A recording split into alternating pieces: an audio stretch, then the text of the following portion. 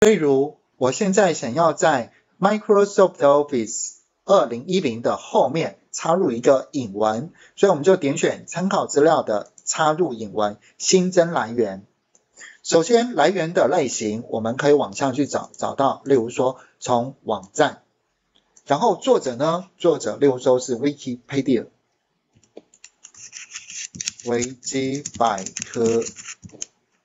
然后接下来网页的名称，我们叫做 Microsoft Office，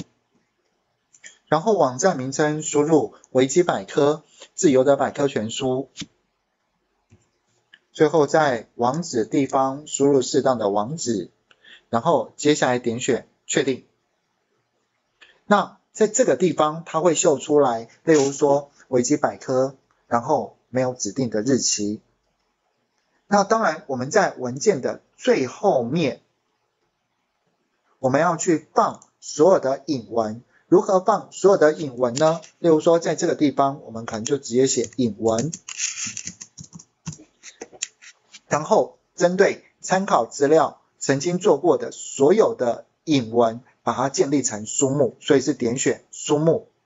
然后接下来在这个地方，我们可以把书目里面的这个插入书目显示出来，所以点选插入书目，我们就可以把刚刚曾经做过的引文全部都呈现在文件的最上面。特别说明一件事情，因为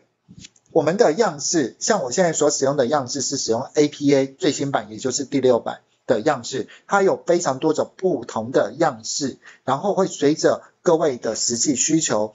而有不同的指定，所以这边它呈现的样式是有很多种，不是只有这一种哦。那我现在特别说明，我所使用的样式是使用 APA 第六版的样式，所以这点要请各位稍微注意一下。以上就是引文。如何插入引文以及制作书目的讲解，在画面右下角有我 YouTube 的频道，这个频道里面收集了非常多的线上电脑教学，而且都是免费的哦。